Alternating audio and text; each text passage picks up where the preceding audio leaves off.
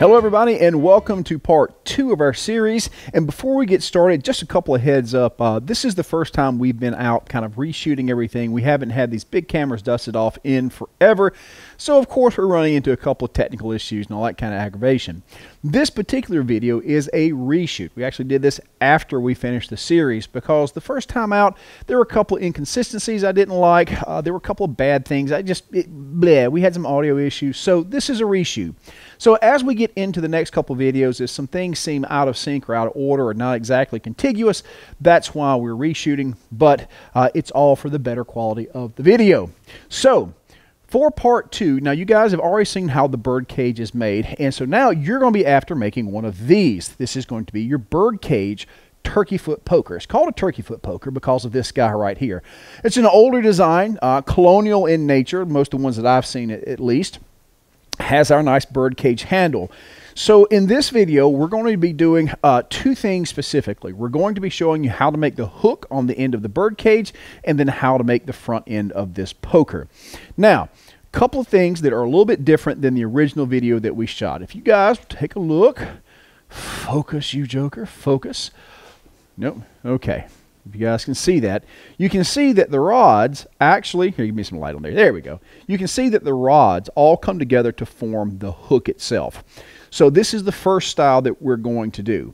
Um, now, because we're using that extra material there to do that, originally we did these in six inches. In the reshoot, I extended the length of the initial rods to 7 inches to give us a little bit more beef uh, to play with while it's up here. There'll be another technique we'll use later, but for this instance, if you're going to do it this way, uh, 7 inches on those rods at a quarter of an inch. Now, uh, this is not an exceedingly difficult piece to do. The only real difficult thing is getting the forge welds in there and getting this hammered out. The reason that I don't prefer doing my hooks this way or bringing these rods together is because as you're drawing this stuff out, those welds in there have a tendency to slip if you really get aggressive with it. So you end up getting some tearing, especially on the end there. So you have to be extra careful, and it takes a lot of patience to get this right. And for me, it still really doesn't look as good as something that's got a solid piece up there. And you'll see what I mean in the next video. Um, but I'm going to show you this technique because it is traditional. It's, it's very common in colonial stuff, and uh, it's neat to watch at the very least. So let's get started. So picking up where the last video had left off, uh, I've got my bundle of four rods here. This is quarter inch hot rolled round, seven inches long. I will fuse these ends together. Uh, I will actually make one lip on this end, and then we'll fuse about two inches on this end. Um, once that is done, we will come in with our 27, 28 inch 3 8 rod here. I mean, pick 27, 28, you'll be good the way. Uh, and then we will fuse this piece to here, uh, and then we can go about making our poker. So let me take a heat on both of these, and we'll go to work. I'm going to go ahead and fuse this one first. We've got a good heat, a little bit of tap. Now, you, you guys notice I have got the exposure cranked way down on the camera. That's hopefully so you can see more of how the weld is put together and it's not blowing the camera out.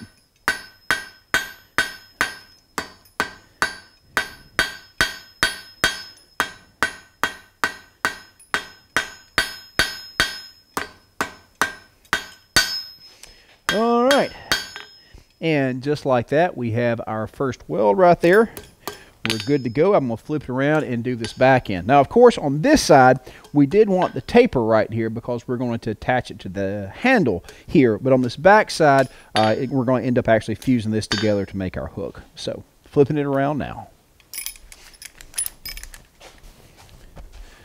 We've got a good heat.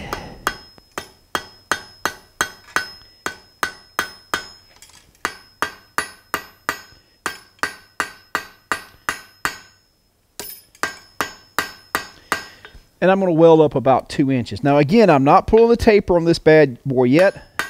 I just wanted to get this stuck together and squared just a little bit. And now we're going to put this on our uh, handle and then we can go to work on this end. Not too bad, not too shabby. And uh, once you uh, once you get quick with the forge weld, that'll be all that it is. Practice, practice, practice. Okay guys, so I've already got our handle and our shank wired up. The pieces are ready to be fused together. And again, this is where you're going to have to practice a little bit of caution. Forge welding is a bit of a pain in the butt. It requires you to know what colors you're looking for. You're looking for sparks. It's something that you're simply going to have to practice to get good at. Of course, the biggest issue being here, if you overheat it, you turn your hard work into a puddle of liquid magma. Bad deal. So I would stress to you as you're doing this, be careful on sneaking up on that heat. Go slow. Don't bury it in the coals. You want to be looking at it the whole time so you can see when that surface of that metal goes glassy. That's usually the first indication of the forge welding. If you bury it in those coals, uh, you go over to light a cigarette, or you fart at an inopportune time, you're going to end up with a melted piece of work, and that's no good. So be careful. All right, we've got a good heat. Tappy tap, tap, tap. Again, make sure and go for the lips first. Don't you know in any fight, you always go for the lips first? And that's what we're doing here. Again, notice I'm not killing it. Now, I didn't get a good fusion right there on that one, so what I'll do is come back, reflux it, and take one more heat and seal that up, and then bring everything down to a taper.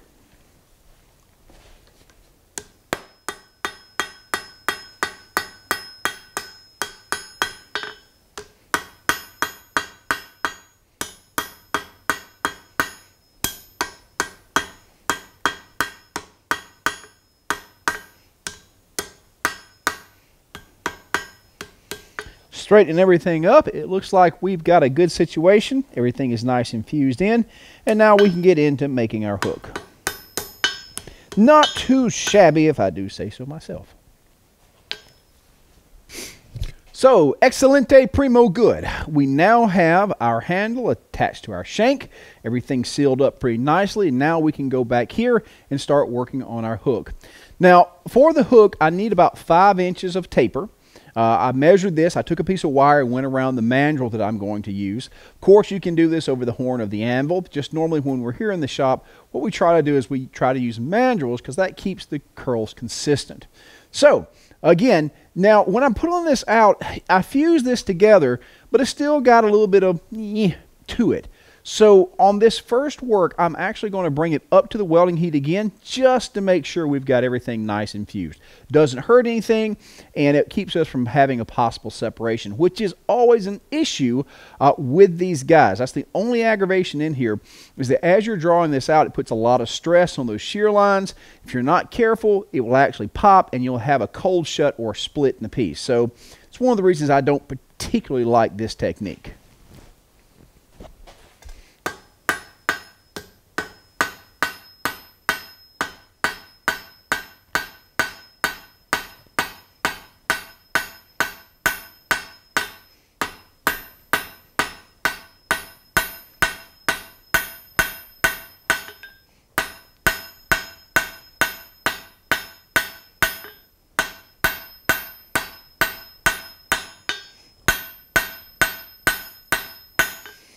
And you can see that pulled out pretty nice. You can still see a, little, see a little bit of a seam, but that tip hasn't split, which is very, very common when you're doing this. So it's, uh, it's looking pretty darn good. We'll take another heat, continue to draw this out. Like I said, we got to have about two more inches on that before we're ready to go. Here we come with heat number two.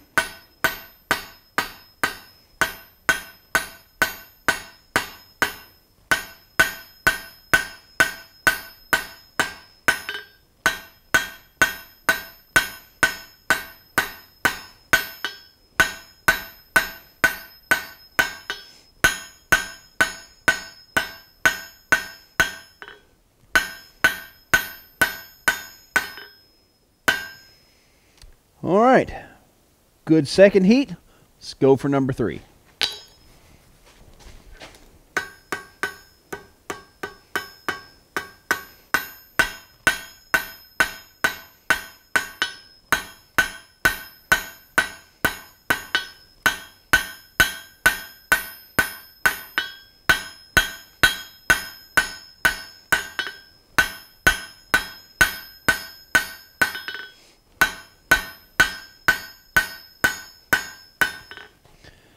All right, let's see where we are. We still need about three quarters of an inch.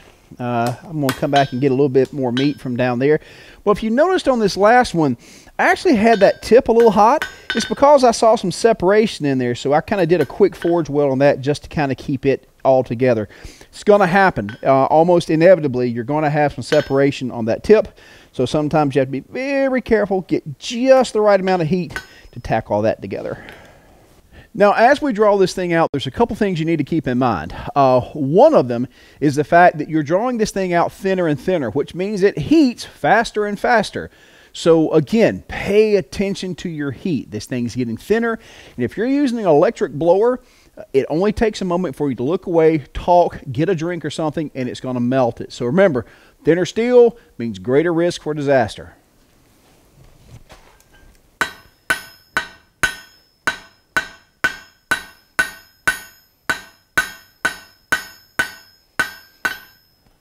Right, I think that's going to do it for us.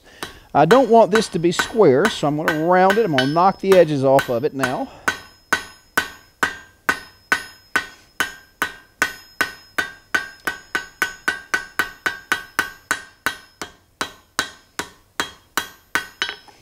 Okay, now, if you noticed, even when I was doing that, these are wanting to separate a little bit right there. So I'm going to come back. I'm going to put a little bit of bend right there. I'm going to flux this and I want to fuse those guys. I'm just going to have from here down to be the rods I want to twist, but I'm going to make that stick together.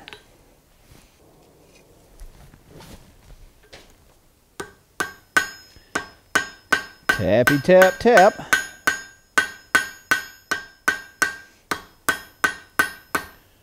All right, that looks like it is okay. And so before our heat completely wears off, I'm going to bend this over here. I'll keep that straight. There we go.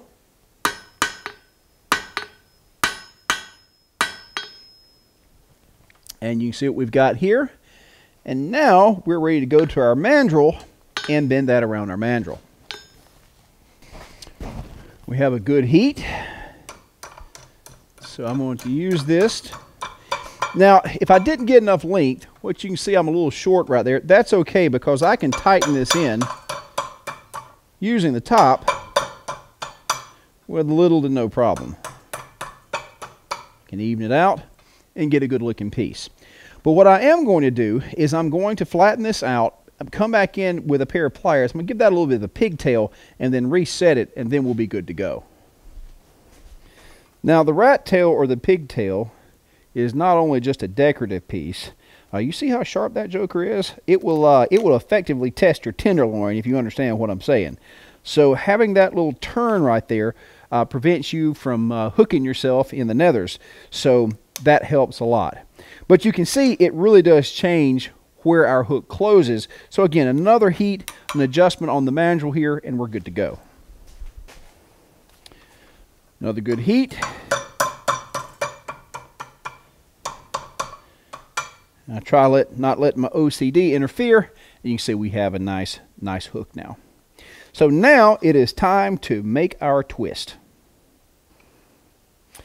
So now with the twist, we of course are going to go in you know, normally I would edit that out, but since I'm too lazy at this point, we're going to leave it in. Normally, what would happen is we would go over to the vice, and um, that's exactly what we're going to do. Man, it's been a long day. We are absolutely going to go over to the vise. We're going to clamp in on the bottom. We're going to use an adjustable bending wrench or twisting wrench uh, on the top here. Now this is where the, kind of the aggravation of this particular style is because those rods up top aren't necessarily have a, a solid stop spot. So they're going to have a tendency to want to tear a little bit. Um, and again, it can be managed. It's just a pain in the bahunkus. But at any rate, whether you're doing it this way or the way we're going to look at in the next video, the main thing you need for all this is that it, there's a nice even heat on all four rods. These four rods are not connected. That means that heat's not going to transfer through them. So when you are putting this in the fire, you've got to rotisserize. Make sure and roll this thing over back and forth. Look at the color of your rods. Make sure they're all the same color, not only in the center, but also all the way down. The secret to a good twist of any flavor is even heat. Here we come into the vise. I'm going to catch it about a half inch down. Here are my twisting bar. And let's go.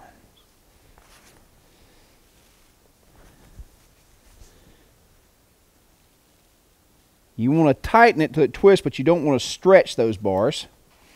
And it's going to have a tendency to kind of get all out of whack. So what I normally do is after I twist, I go back into the vise and I let my vise help straighten this thing out. This helps tremendously before you untwist because you need it straight and you want it super, super even. And that's not too bad right there. I'm going to get it one more time though. Take that. So now the bars are wrapped a little bit more and they're actually transfer heat more effectively. It's going to go back into the fire. I'm going to reheat and then we're going to back this bad boy off and open it up into our bird cage. But again, beforehand, make sure everything is as straight and lined up as possible. If this thing is off when you back it out, you're going to have problems.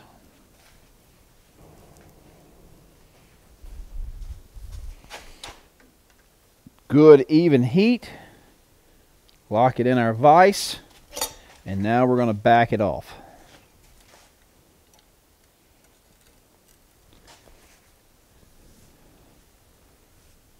Open it up. And when you open it up, make sure and stop so that the flats are aligned on the bar. There will be the need for a lot of tapping but man, looky there. That's not too terrible bad. I got one little place right there. Probably need to adjust a little scooch right there. And those bars are pretty freaking even. I can close that setup right there just a little bit. Let me grab my pliers. So if you need to close these, again, just pull those two together like that. Just some minor adjustments. And there you go. Not too terrible shabby. Now do yourself a favor and do not just drop this in the quench barrel. Uh, if this thing is still super hot and you drop it in the quench, those rods will twist at a different rate and it will pull it all out of alignment. The best thing you can do after you're done twisting it and backing it off, set it out and let it cool down naturally. Um, many a time has there been a young fellow that has dropped this in the water and have it come out looking like it's a stroke victim. So don't do that. Let it cool down and you're good to go. But let's take a close look at it. So all in all, this is a pretty clean piece. Uh, we've got our nice evenly spaced uh, spirals here. These pieces come up and they form very well into the hook. This area right here, though, let me tell you, is normally a pain in the butt. If you notice, I put that end in the vise and then use this end to twist it with. That's also a trick you need to pay attention to because if you were to do it the opposite way, these guys have a tendency to come apart and it's not good. It's also very difficult to get those tacked in and have them stay where they need to be. It's tough. It can be done uh, I'm just not very good at it, and therefore I'd advise you trying it, but uh, don't get your hopes up. But all in all, that is a good looking basket handle there. Fits the hand nicely. Good even hook there with a little pigtail. Not a bad piece at all. So now that we're done with that, we can get on to the front end of the business end of this poker and make our turkey foot. Now, before I actually get into making the front end of the poker, uh, one thing I want to point out is that this particular piece of rod is fresh off the shelf. It has nice square edges, and that is something that you don't want. Good work is stuff that has been worked all over.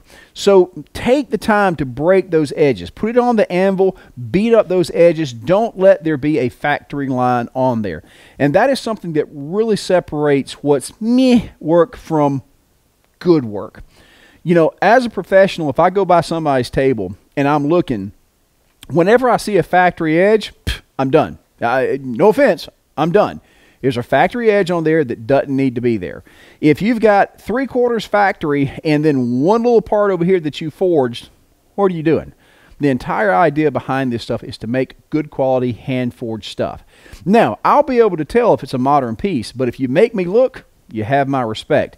And I cannot tell from 10 feet if it's hammered edges, I have to look because that said, hmm, that whole thing's worked. It might be a very old piece. Nope, nope. It's not a very old piece. It's just a high quality modern one. Break those edges. So now we're ready to make the front end of our poker, and it's relatively simple.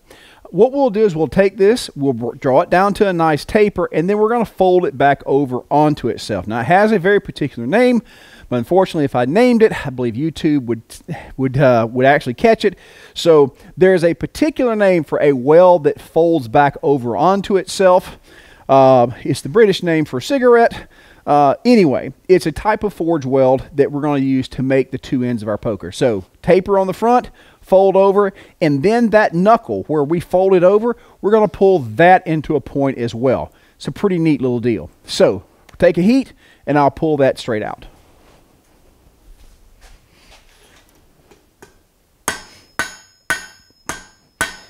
Now you don't need a super long or super pointy taper for this, so don't go crazy. Think of it more as a spur.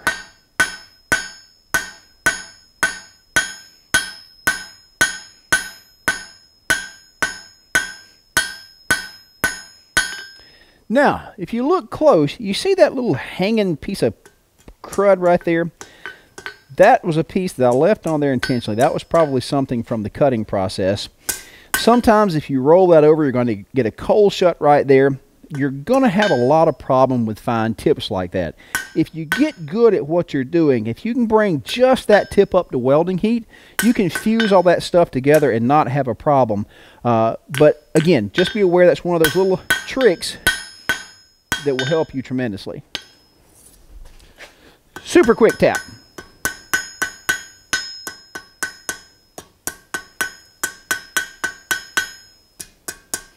And problem solved.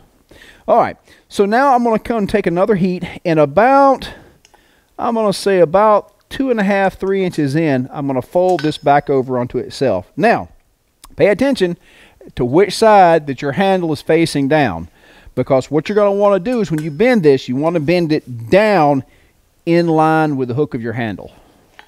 If you don't do this, then at some later point, you're going to have to make a twist in the shank to line it back up and pretend like that's what you meant to do all along. Ask me how I know. In about two and a half, three inches, fold it over the edge of the anvil, bring it back onto itself.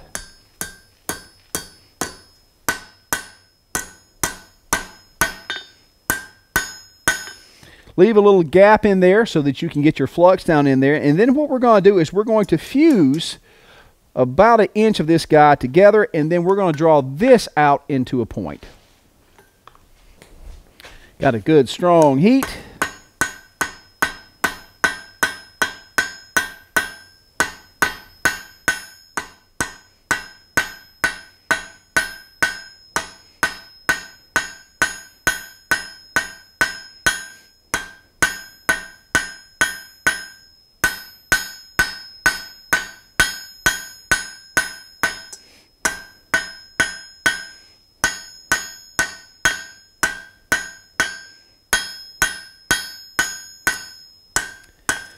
And something like this is what you want to end up with.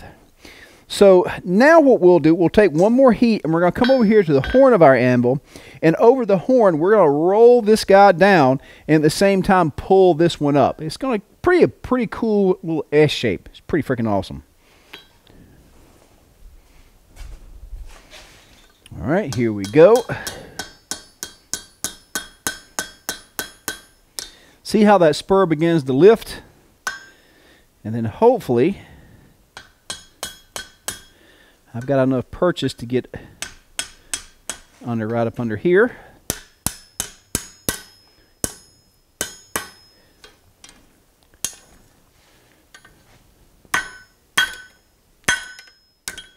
And you're going to have to play with this just a little bit because it's going to get all kind of do wonkus.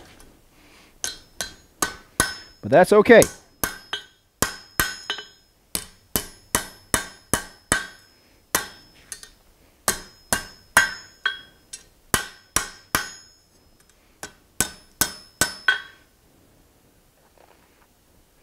Now, if you saw that, it popped up right there. That weld didn't quite take, so I'm going to hit it one more time with the 20 Mule Team Fusion Cocaine, seal that up, and then do just a little bit more shaping, and I think she's ready to go. Got ourselves a good heat. Tappy tap tap. And that is what I am looking for. Ladies and gentlemen, check that bad boy out right there. There is your turkey foots poker. Not too shabby.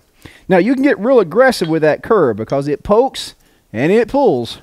Uh, and you can do it either way you want to. But I usually leave it right there. It's got that cool look to it. Like a pew pew, like lasers. It's awesome.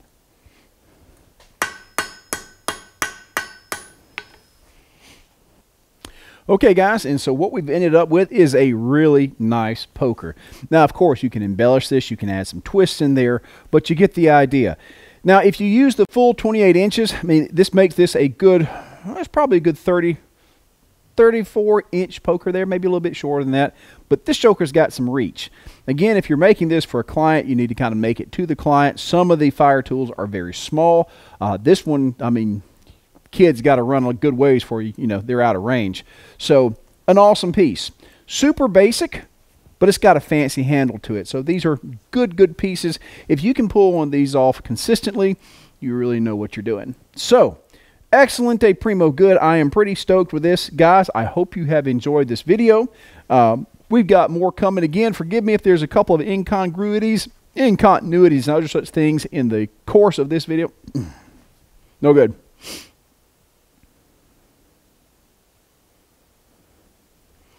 And guys, there you have it, your super awesome birdcage turkey foot poker.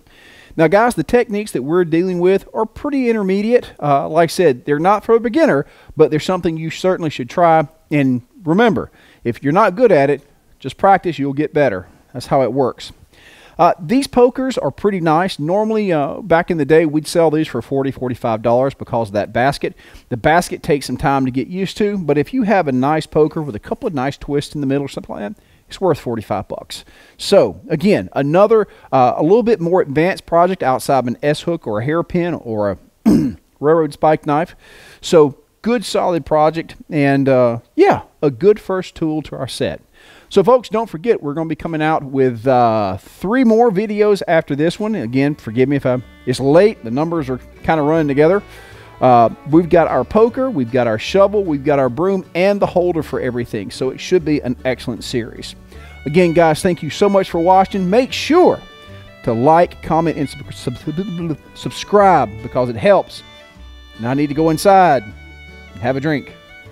You guys be good.